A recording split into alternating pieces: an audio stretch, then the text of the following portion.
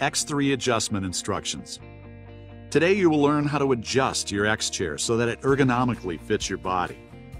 Step 1. Height. To adjust the height of your chair, you must first raise the chair to its highest setting. While standing, face the chair and locate the paddle switches underneath the seat on your left side. Lift the frontmost switch and the chair will rise entirely. Disengage the switch, sit in the chair, and then engage the switch again. The seat will then begin to lower. Goal position, your knees should be at a perfect 90 degree angle. Step 2. Seat depth. Make sure that your seat depth is appropriate for your leg length. While sitting in your chair, find the paddle switch on your left side. While lifting the switch, move your hips forward or backward. The seat should slide with you. Goal.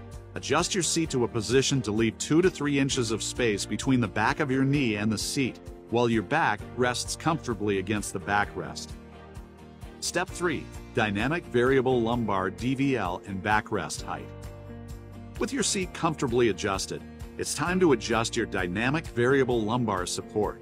This is done by adjusting the chair's backrest height to one of four backrest height settings. While sitting in the chair, place your hands under the DVL and lift slowly. Each time you hear a click, you have changed the height setting. You can also adjust the backrest height while standing behind the X chair and lifting upwards. Goal.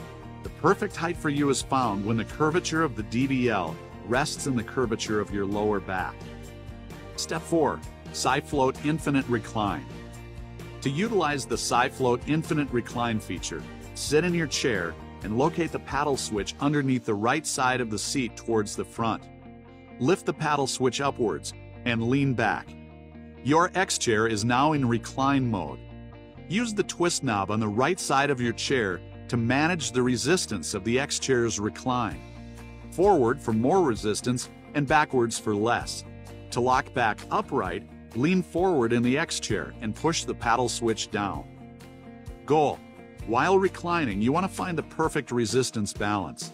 Use the twist knob to find a resistance that lets you float between upright and all the way back. Step 5.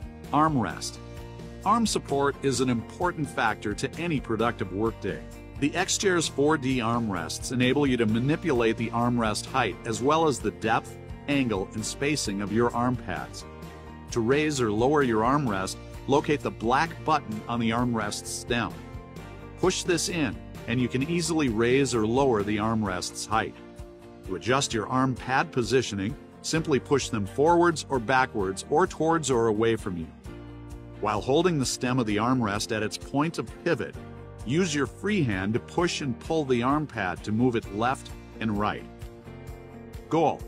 Our armrests are designed to be easily adjustable so that they fit your various needs throughout the day. Keep them at a height that allows your arms to comfortably rest and adjust them to suit your preferences. Step 6. Headrest. If you purchased a headrest with your chair, then you can easily adjust its height by standing behind your chair and lifting up, or pushing down on the headrest. Adjust its angle by pushing the headrest forward and backward. Goal. The headrest's rounded profile should fit in the nape of your neck for maximum support. Your X chair should now fit you like a glove.